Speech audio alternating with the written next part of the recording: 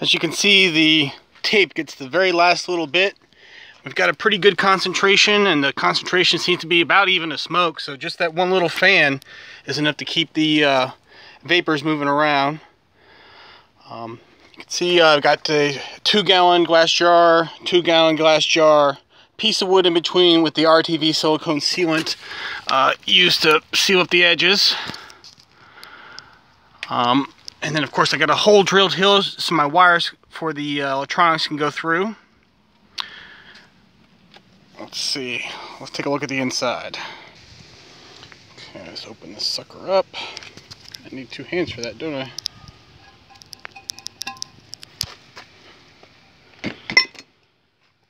So, I basically just like permanently attached one jar to the piece of wood uh, with the RTV silicone with no intention of pulling it off. And then it came in with a little bit more to seal up the bottom. Um, then I put another layer down on top here and let it dry for about an hour or so. Um, and once it was partially cured, at least on top, I sprayed the jar down with some, uh, I should have used Teflon spray, but I didn't have any. I used white lithium.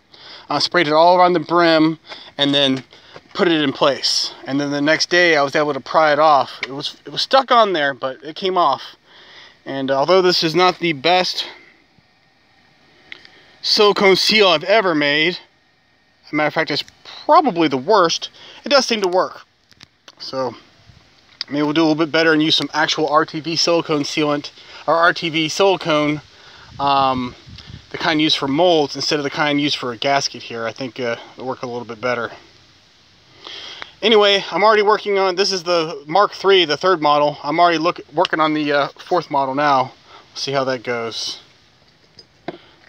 That's for in case you want to do something small, I guess.